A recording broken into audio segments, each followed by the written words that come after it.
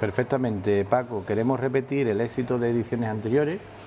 Esta va a ser una fashion eh, más dedicada al establecimiento comercial, a la tienda, a los precios explosivos, a, los escaparates, hacer escaparates bonitos, ¿no? Digamos, a resaltar lo que siempre ha sido el comercio de la línea y, ese esplendor que siempre ha tenido, más en la propia casa del comerciante. Por supuesto habrá espectáculos en la calle, como siempre, espectáculos que llenarán de contenido todo el centro de la ciudad. Estará la banda municipal, estará el conservatorio posiblemente, que estamos en conversaciones. Eh, tendremos también charanga. Eh, en fin, eh, la gente desde luego no se va a aburrir, ¿no? El que salga este próximo día 14 en la línea. Pero ya te digo, es, lo que queremos es que, que se beneficien de todo eh, los clientes nuestros, no de nuestro comercio, de unos grandes precios y que esto le ayude también eh, a lo que es las compras de Navidad, ¿no? que ya vayan comprando todo lo que son las compras de Reyes ¿no? y todos los regalos de Navidad. Por lo tanto, eh, esperemos que venga muchísima gente de, la línea de Gibraltar, de, Algeciras, o sea, del fin de todo el campo de Gibraltar, que es lo importante, y que aquí serán, como siempre, muy bien acogidos ¿no? y recibidos por todos los, comerciantes linenses. ¿Cómo ha sido la evolución de estos cuatro años de vida?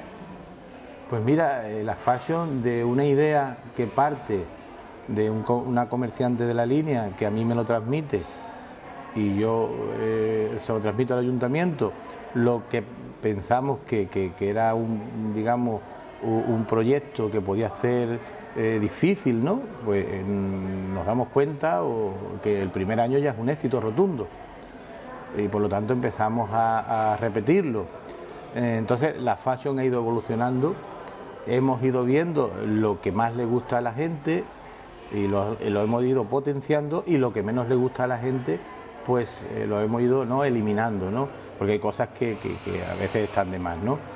De todas formas, siempre que mostrar nuestro agradecimiento a cualquier tipo de, evento o de espectáculo y de gente que ha querido participar en la Fashion Day.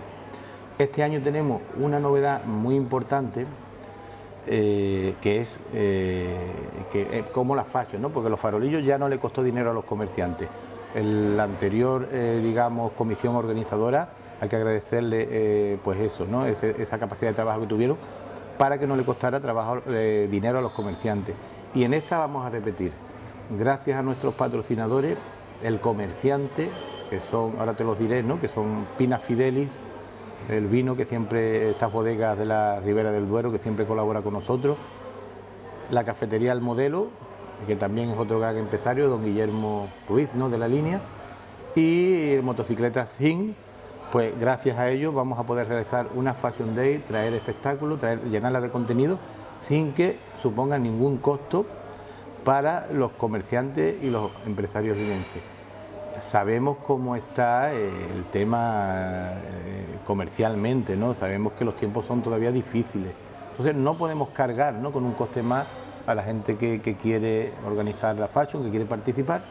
Y por lo tanto, gracias también al ayuntamiento en la figura de Jaime Chacón, que desde aquí tengo que decir que se está volcando con la Fashion Day. Nosotros todos los días nos reunimos y vemos cómo podemos avanzar, para, que esto, para que esto sea un éxito y salga bien. Entonces, desde aquí eh, agradecerle también a Jaime Chagón que está haciendo un trabajo muy brillante ¿no? en la Fashion Day. Y todos estos elementos, toda esta ecuación sumada, pues esperemos que el resultado final pues, sea eh, el éxito. ¿no?